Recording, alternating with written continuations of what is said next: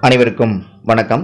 புதிய பாரத எழுத்தறிவு திட்டத்திற்காக நமது பகுதியில் வசிக்கும் இருபது கற்போர்களுக்கான நேம் லிஸ்ட்டை வந்து நம்ம டிஎன்எஸ்சிடி ஆப் மூலம் வந்து ஆட் செஞ்சுருப்போம். அந்த இருபது கற்போர்களுக்கு ஒரு தன்னார்வலர் வீதம் வந்து நம்ம நியமிச்சிருப்போம்.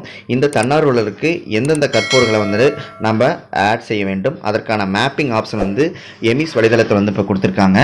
எப்படி வந்து தன்னார்வலருக்கான கற்போரை வந்து எப்படி மேப்பிங் செய்யலாம் அப்படிங்கிறத பற்றி தான் இந்த வீடியோவில் பார்க்கலாம். அதுக்கு ஃபஸ்ட்டு உங்களுடைய குரோம் ப்ரௌஸ் வந்து ஓப்பன் பண்ணிக்கலாம். ஓப்பன் பண்ணிவிட்டு மேலே சர்ச் பாரில் டிஎன்எமி ஸ்கூல் அப்படின்னு டைப் பண்ணிக்கங்க. ஆல்ரெடி நீங்கள் ஸ்கூல் லாகின் இருந்தீங்க அப்படின்னா டேரெக்டாக உங்களுக்கு ஓப்பன் ஆயிரும். சப்போஸ் நீங்கள் லாக் அவுட் பண்ணிங்க அப்படின்னா உங்கள் பள்ளிக்கணக்கு யூசருடைய பாஸ்வேர்ட் போட்டு நீங்கள் லாகின் பண்ணிக்கலாம். மேலே மூணு லைன் மாதிரி கொடுத்துருப்பாங்க. டச் பண்ணிட்டு கீழே என்எல்பிஎல் மேப்பிங் அப்படின்னு காலம் கொடுத்துருப்பாங்க. அதை வந்து நீங்கள் கிளிக் பண்ணிக்கிங்க. கிளிக் பண்ணிங்க அப்படின்னா நமக்கு ஆட்டோமேட்டிக்காக ஒன் செகண்ட்ஸ் லோட் ஆகும். அதில் ஃபஸ்ட்டு லேனர்ஸோட லிஸ்ட் கொடுத்துருப்பாங்க. கீழே வந்து நீங்கள் வாலண்டியர்ஸ் லிஸ்ட்டும் கொடுத்துருப்பாங்க. ஃபஸ்ட் லேனர்ஸ் லிஸ்ட்டை கிளிக் பண்ணிங்க அப்படின்னா ரெண்டு பேஜ் காட்டியிருப்பாங்க. அதில் ஃபஸ்ட்டு ஒரு பேஜில் பத்து நபர்களையும் செகண்ட் பேஜில் பத்து நபர்களையும் வந்து கொடுத்துருப்பாங்க. இப்போ வந்து பக்கத்தில் வாலண்டியர் லிஸ்ட் கொடுத்துருப்பாங்க. அதில் மேப் அப்படின்னு ஒரு காலம் கொடுத்துருப்பாங்க. அதை வந்து நீங்கள் டச் பண்ணிக்கிங்க.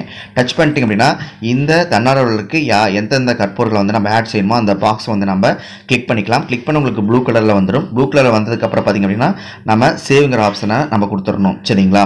இது மாதிரி வந்து இந்த தன்னார்வலர்களுக்கு எத்தனை கற்போர் வேணாலும் நம்ம ஆட் பண்ணிவிட்டு அதற்கான சேவிங்கிற ஆப்ஷன் வந்து நம்ம கொடுக்க வேண்டும். இவ்வாறு தான் வந்து நம்மளுடைய கப்போருக்கான தன்னாளர்களை வந்து நாம் நியமனம் செய்ய வேண்டும். இந்த காணொளி மிகவும் உங்களுக்கு பயனுள்ளதாக இருக்குன்னு நினைக்கிறேன். மறக்காமல் சேனலை சப்ஸ்கிரைப் பண்ணுங்கள் வீடியோ அனைவருக்கும் ஷேர் பண்ணுங்கள் நன்றி வணக்கம். தேங்க்யூ